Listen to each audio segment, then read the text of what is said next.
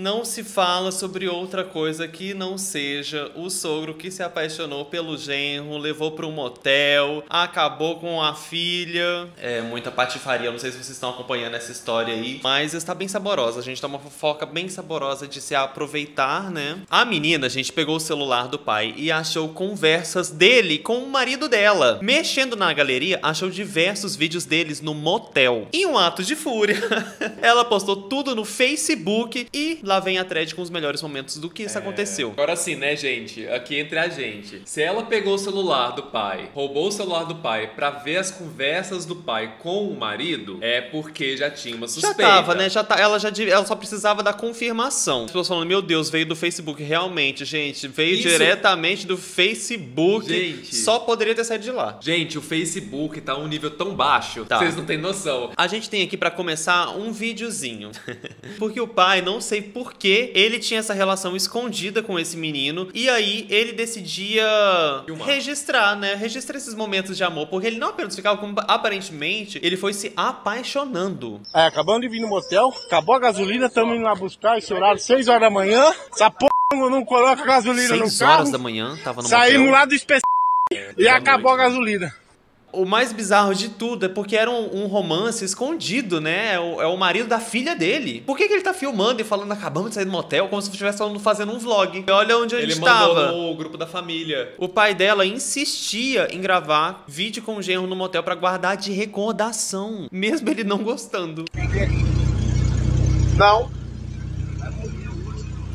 O não é o menino pedindo pra não ser filmado, tá? Vocês escutaram? Eu adoro que o pai, ele não apenas filma o menino contra a vontade dele, como ele fica assim, ó. Aham.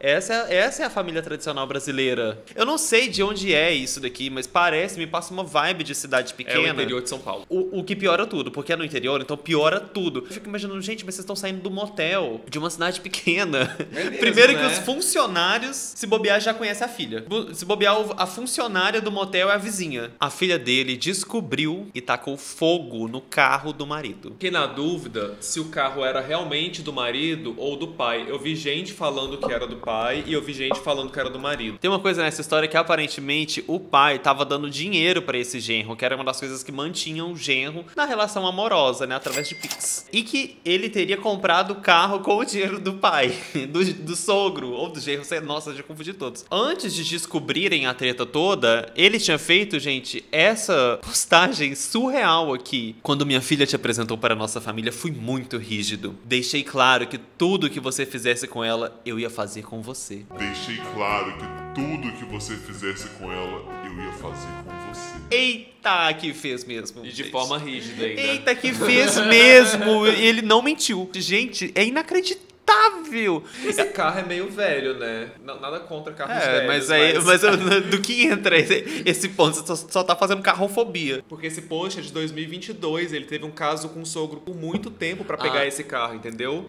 Isso aqui é porque o negócio durou, né? A menina É. disse que já tava durando há mais de dois anos esse relacionamento do pai com, com o marido dela. Então, assim, foram dois anos de... é, Chifradas. É, e serviços, é, como é que eu posso dizer, carnais, pra pegar esse carro, que demora. assim, demorou Ai, muito, gente. gente. Mas sim, gente, a menina botou fogo no carro. Este mesmo carro, tá? Gente, o pau quebrando na cidade. Isso aqui é porque a menina já tinha exposto tudo no Facebook. Gente, igualzinho aquele clipe da Lady Gaga, Mary the Night. Não deu outra. A filha vazou a história no Facebook e isso causou uma confusão entre o pai e o marido dela no meio da rua. Afinal de contas, uma cidade pequena, uma fofoca maravilhosa rolando. Todo mundo, a cidade inteira deve ter parado pra aproveitar, né? Porque eu, era, é exatamente o que eu faria. Eu chutei seu cu aí, tá levando Vai se f***, Play de novo, mais uma vez. Eu chutei seu c... Eu chutei seu cu aí, tá levando Senhor!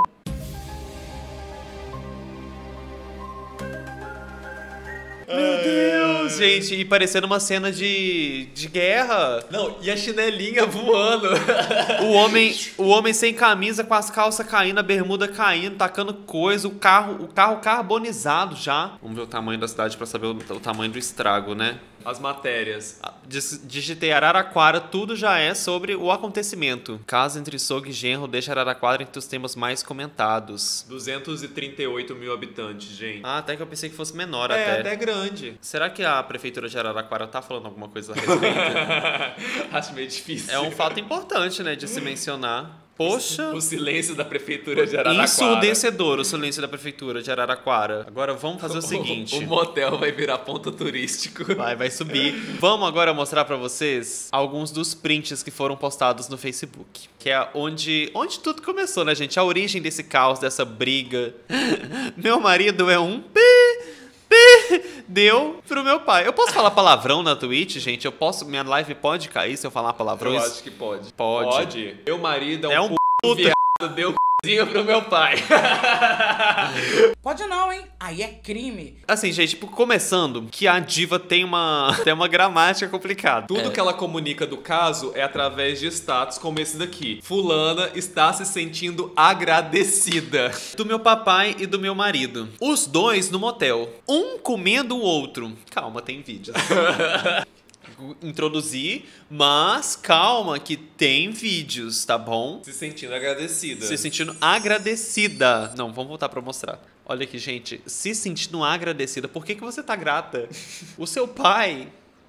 Com seu marido. O marido foi lá e deu a sua carta resposta, né? É. Essa desgraça vive me ameaçando. Ele me seguiu esse dia, ou vocês acham que ele tá fazendo isso e eu ia ficar tranquilo assim? É fácil ver. E falaram, ele tá na bosta passando fome, quis acabar com a minha vida, pecar estava bem. Quem quiser saber melhor, tenho gravado ele me ameaçando. Calma, calma. Ai, calma, uma pausa.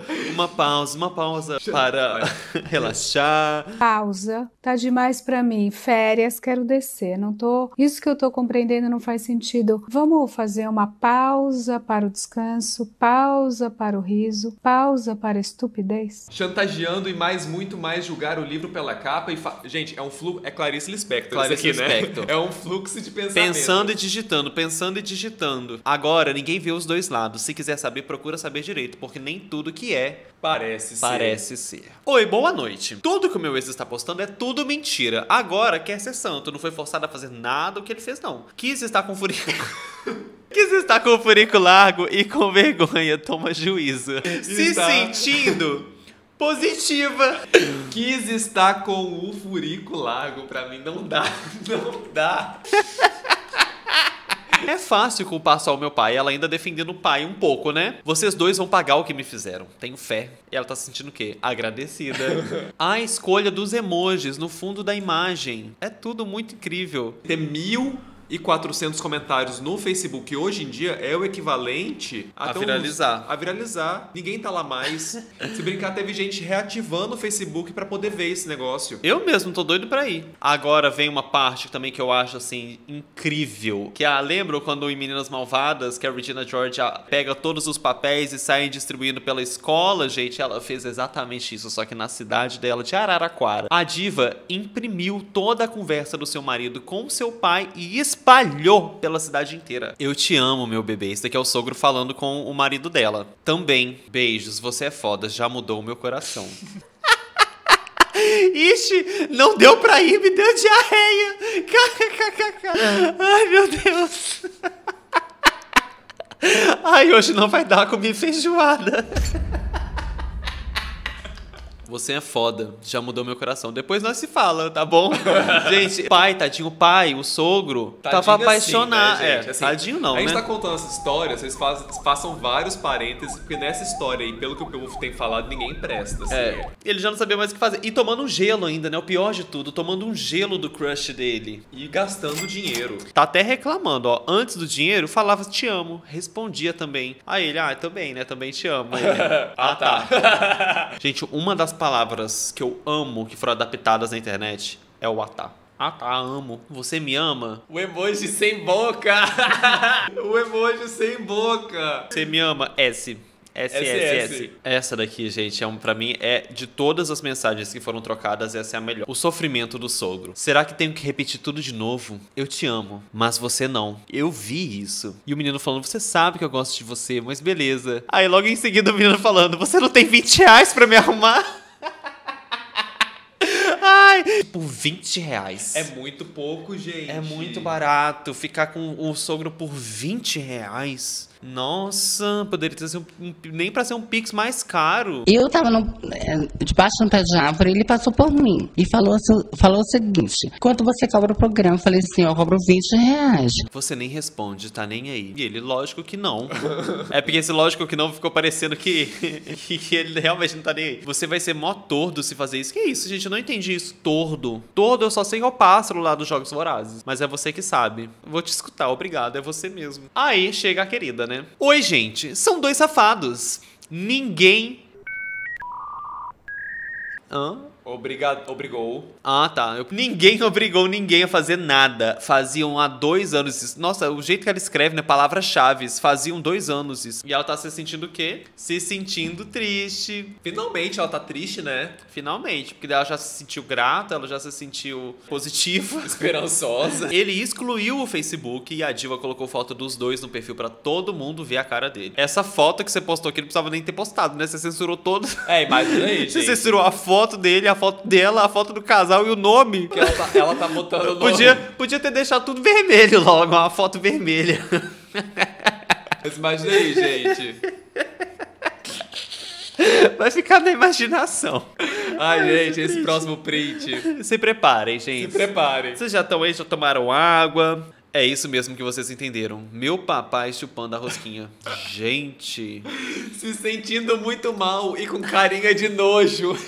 Mas a carinha no fundo do emoji tá rindo. Gente, essa menina tá sentindo muitas emoções ao mesmo tempo. E é muito estranho, porque o pessoal tava até falando aqui no chat que parece que é uma história inventada. E parece mesmo, porque chega a ser muito bizarro. É bizarríssimo. Até pensei, nossa, mas será que eles inventaram isso pra movimentar, né? Mas assim, gente, chegou ao ponto eles brigarem na rua, tá, se baterem na rua, tacar fogo em carro. Só isso, na verdade, que me fez acreditar que não. Porque até o fogo no carro eu já tava achando que poderia ser mentira. O pai ainda postou isso daqui. É muito parecido o jeito que eles postam as coisas. É muito estranho. Eu tô achando que alguém tá se passando por alguém nessa história. Se sentindo incomodado.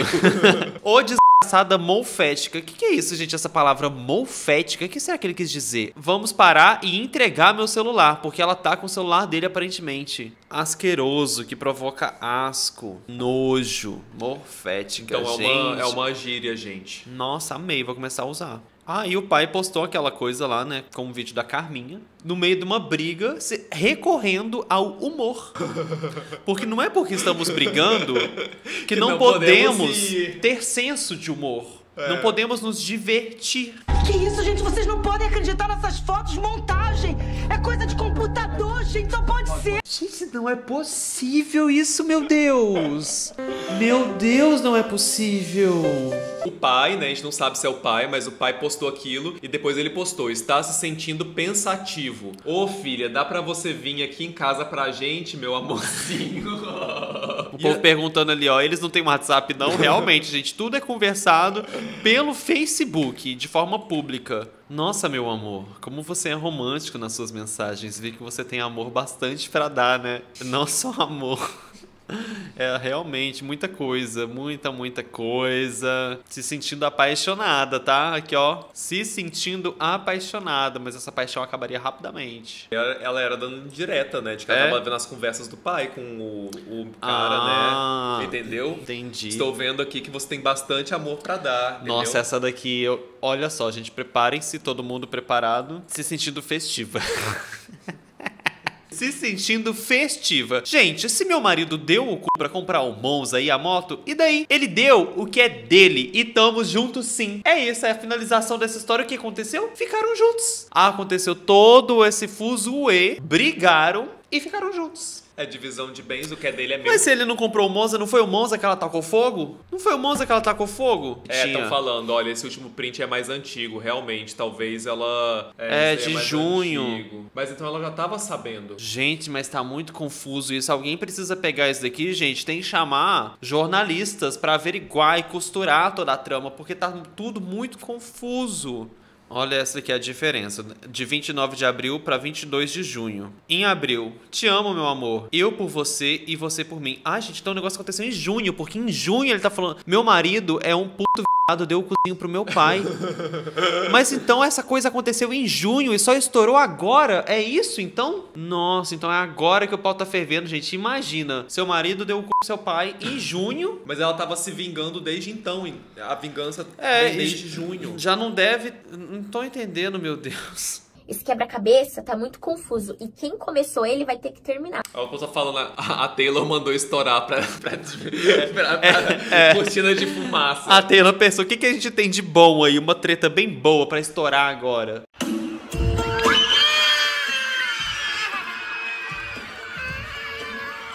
Olha a descrição do Facebook dela depois de tudo. É melhor ter um marido assumido ser gay pra sua mulher e viver a vida do que ser gay nas escondidas. É exatamente isso. Vou mostrar aqui rapidinho pra vocês os assuntos do momento do Twitter. Esse aqui eu não preciso verbalizar.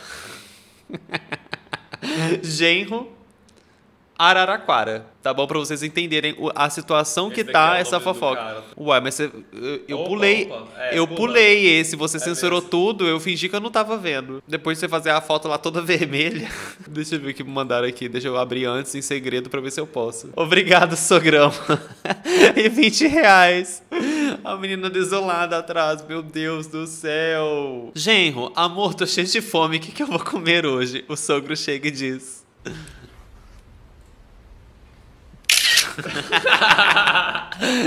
Ai, à meia-noite eu te conto o que, que você vai lanchar. Meu marido foi embora para o interior morar com outra que ele conheceu na internet. Agora estou aqui esperando ele voltar porque a outra é um fake que eu mesma fiz. É, gente, o negócio tá fervendo. Tá fervendo. Gente, que barulhada é essa? O marido e o pai dela dentro do quarto. deixar, eu prometo que pra sempre vou te amar. Eu guardei o que há de bom em mim só pra te dar. Se você jurar, se você. O sogro de Araraquara pro genro toda vez que a filha saía de perto. Onde é que você vai liberar esse c... aí? Você vai liberar Ai, esse nem, nem eu sabia que ia passar acontecer isso.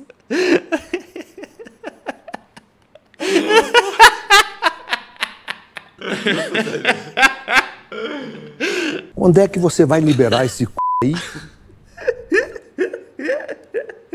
A carinha dele. Ai, meu Deus. É, meus amores, por enquanto é isso que eu tô sabendo dessa confusão. Não sei o que, que vocês têm visto aí sobre. Eu vi que tem uns desdobramentos, que eu vi até o povo comentando aqui no chat sobre outros crimes piores. Gente, eu prefiro nem entrar nesse assunto, tá É, bom? Vou estamos fazer igual a apenas- Taylor Swift, speak never. A gente não precisa saber Vamos disso, ficar né? nos crimes mais leves. Os crimes mais pesados, a gente abafa. Esse aqui eu vou, eu vou dar uma Nossa, tampadinha. É, pra não dar pra ver a cara. O menino que chupou meu pai.